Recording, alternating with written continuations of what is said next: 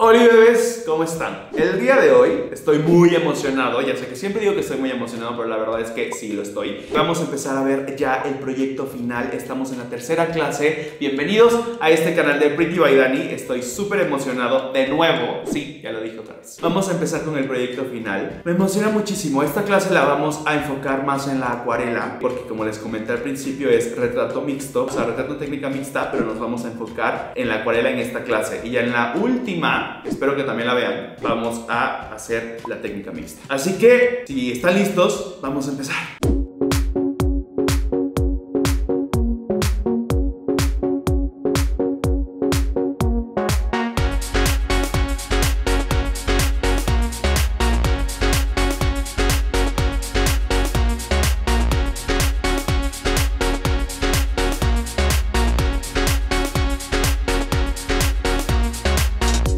Ok, para el proyecto final vamos a dibujar a nuestro cantante, actor, autor, lo que tú quieras, artista favorito. Y para esto vamos a necesitar tener una referencia, puede ser impresa. Yo les recomiendo que sea impresa porque pueden ver más a detalle todo y también hay que asegurarnos de que la imagen esté en buena calidad para poder ver todos los detalles. Y también puedes poner la referencia en tu computadora, en tu celular, en tu tablet, lo que tengas, no te preocupes. La cosa es poder ver bien los detalles y todo lo que tiene el rostro, porque es lo que importa ahorita. Entonces vamos a empezar con la acuarela. Yo personalmente escogí esta foto de Lady Gaga, que es mi cantante favorita de toda la vida, desde siempre. Y esta foto me gusta mucho porque fue cuando eh, recibió el premio del icono de la moda en el 2011, en la época cuando tenía su disco de Born This Way, en el Council of Fashion Designers of America, digamos los Oscars de la moda. Pero ustedes pueden agarrar a cualquier cantante favorito que tengan ustedes, lo que sea, su actor, ustedes no se preocupen. La cosa es agarrar bien las Блять. Ok, ahora lo que vamos a hacer es un boceto. Yo se los recomiendo siempre antes de hacer cualquier dibujo, ilustración, retrato, etcétera. Puede ser en cualquier tipo de hoja. Este no va a ser el resultado final, lo vamos a traspasar, pero eso se los voy a enseñar después a hacer. Así que aquí nada más vean, observen, traten de plasmar lo que tienen al lado a la hoja. Pero recuerden que no tiene que quedar perfecta la primera. Ustedes tómense su tiempo, hagan, deshagan. De hecho, les recomiendo también usar un lápiz que tenga muy poquito grafito y que pinten de una forma como suave para que no remarquen la hoja y puedan ir borrando y deshaciendo y probando y experimentando hasta que les quede bien la ilustración o hasta que ustedes estén contentos. Ya con el tiempo, con la práctica, como les mencioné, van a llegar a hacer lo que quieran. Bueno, yo por ejemplo voy a empezar por la cara. Entonces lo que voy a hacer va a ser una línea hacia el azar, sin regla, no se preocupen. Pero traten de hacer la derecha. No sé si se alcance a ver en la cámara, pero estoy haciendo una línea recta para darme una guía de dónde están los ojos. Igual si quieren marcar ustedes su referencia impresa, no importa, ahí está. Entonces también mucho lo que hacen es hacer una vertical para poder alinear la nariz con la boca. Es lo que vamos a hacer, la nariz con la boca. Vamos a hacer una vertical. Recuerden que no tiene que ser con regla si quieren hacerlo con regla, adelante, háganlo. Pen, pen, pen. Como verán, no está nada exacta, pero nos ayuda a ubicarnos en cuanto a proporciones. De aquí empecemos. Yo siempre empiezo por los ojos. Ustedes pueden empezar por el marco de la cara, por donde ustedes quieran y vean pertinente. Entonces tratemos de emular los ojos. Me encanta hacer ojos, por cierto. Yo sé que a ustedes también he visto muchos que hacen ojitos. Este es como un ojo almendrado. Gaga, por ejemplo, tiene los párpados más hundidos y tiene como esta parte de aquí como más marcada del párpado grande. Entonces lo que voy a hacer es delimitar también dónde van las pestañas, porque yo no hago las pestañas una por una, esa es otra, amigos. Eh, hay que identificar, hacer como bonchecitos. Ahorita no lo vamos a hacer, nada más vamos a delimitar el espacio que creemos donde van las pestañas. Aquí tiene el ojo muy estirado por el maquillaje voy a hacer como ahí una delimitación imaginaria de dónde estarían el párpado inferior que es muy chiquito pero sí hay que tomarlo en cuenta el ojo que está viendo hacia allá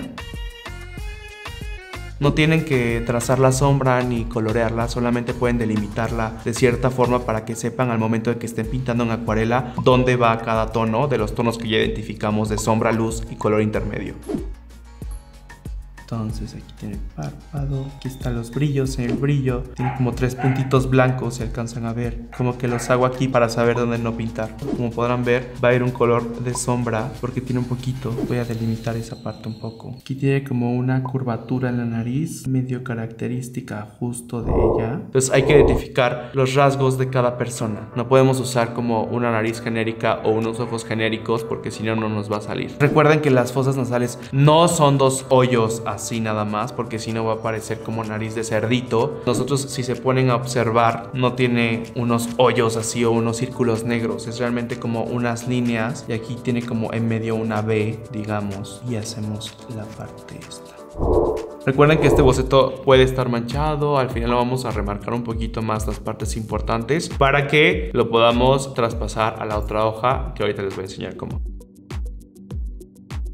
Ya pasamos al siguiente ojo y está un poco más alargado. Entonces la pupila está viendo igual hacia este lado. Recuerden también identificar dónde está la dirección hacia donde están viendo porque puede quedar como visco el dibujo y tenemos que tratar de que no quede visco. Por ahí va. La nariz la siento un poquito chiquita, pero ahorita vemos. Ya que veamos todo el panorama, podemos empezar a hacer un poquito más de cambios. No hay problema.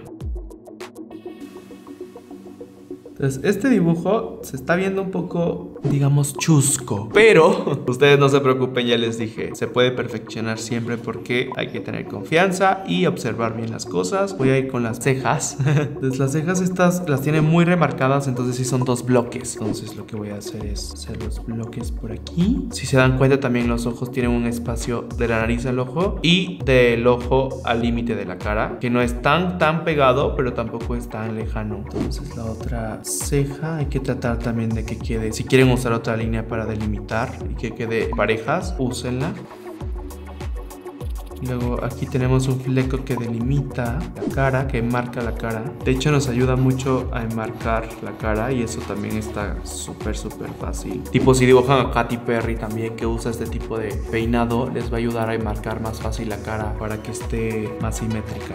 Aquí Gaga tiene por ejemplo un lunar abajo del ojo derecho para ella, izquierdo para nosotros. Aquí tiene otro, entonces vamos a tratar de ubicarlo más o menos en el lugar donde está. Igual si tu referencia tiene lunar recuerda como referenciarlo con algo. Por ejemplo, este lunar está a la altura de la nariz, entonces aquí lo pongo a la altura de la nariz y ya más o menos te das una idea de qué onda. Luego, los labios. Hay que tomar atención a cómo son los labios de nuestra referencia. Y también no olvidar que tenemos esta parte debajo de la nariz entre el labio y la nariz. Si la tiene marcada hay que delimitarla. Aquí es súper poquito, entonces nada más va a como con sombra. Entonces vamos con la boca. Ella los tiene como muy marcados como de corazón rojos. Recuerden no hacer la boca tan amplia. Depende también de la persona que estén haciendo. Pero la boca no va como hasta acá, acá. Hay que ir observando. Igual depende mucho de los colores. Yo los hago más o menos como primero juntos. Ya después voy perfeccionando la línea. Después la parte de arriba. Y luego el labio de abajo tiene como una forma como de dos montañitas. Si queremos dar un poquito más de volumen.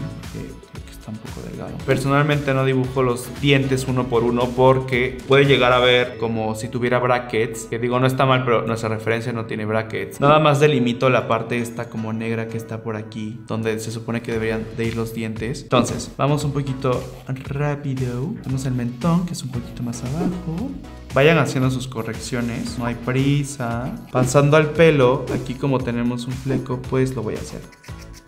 Recuerden que el pelo no tiene que ser línea por línea, entonces lo que vamos a hacer es identificar los mechones, pero no vamos a hacer uno por uno. O sea, vamos a seccionar y también cuando se pinta, se secciona. El volumen también es muy importante, chequen bien el volumen. Lo que hago más o menos es identificar dónde termina el pelo. Entonces no importa, ustedes hagan líneas, líneas, quede. Aquí por ejemplo hay un mechón, podemos delimitarlo, otro mechón. Este es un boceto burdo, recuerden. Después lo perfeccionaremos. Aquí hay otro mechón.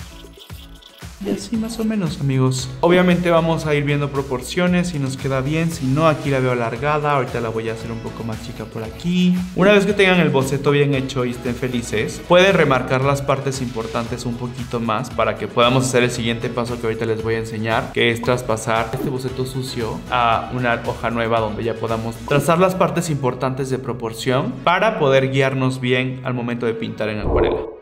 Y bueno, aquí está el truco que hago para pasar del boceto burdo a la nueva hoja donde vamos a terminar nuestro retrato. Yo lo que hago es buscar una ventana que esté muy iluminada o que dé el sol directamente. Pego la ilustración muy bien y después pego la hoja para que no se nos vaya a mover. Y empezamos a trazar y así pasamos a limpio nuestro dibujo y creo que es un súper súper buen tip.